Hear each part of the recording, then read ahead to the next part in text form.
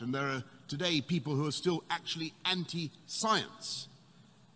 A whole movement called the anti-vaxxers who refuse to acknowledge the evidence that vaccinations have eradicated smallpox and who, by their prejudices, are actually endangering the very children they want to protect.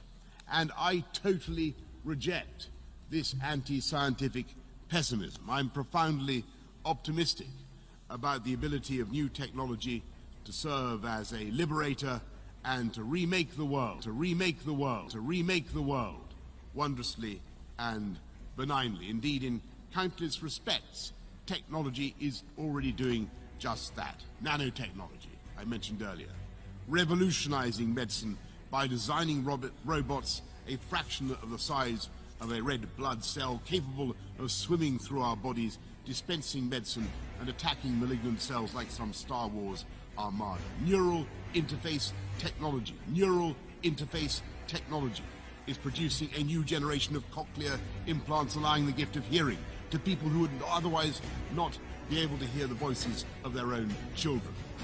When I think of the great scientific revolutions of the past, print, the steam engine, aviation, the atomic age, I think of new tools we acquired, but over which we, the human race, had the advantage, which we controlled. And that is not necessarily the case in the digital age. You may keep your secrets from your friends, from your parents, your children, your doctor, even your personal trainer. But it takes real effort to conceal your thoughts from Google, from Google, from Google. And if that is true today, in future, there may be nowhere to hide. In future, there may be nowhere to hide. Nowhere to hide. Nowhere to hide. Nowhere to hide.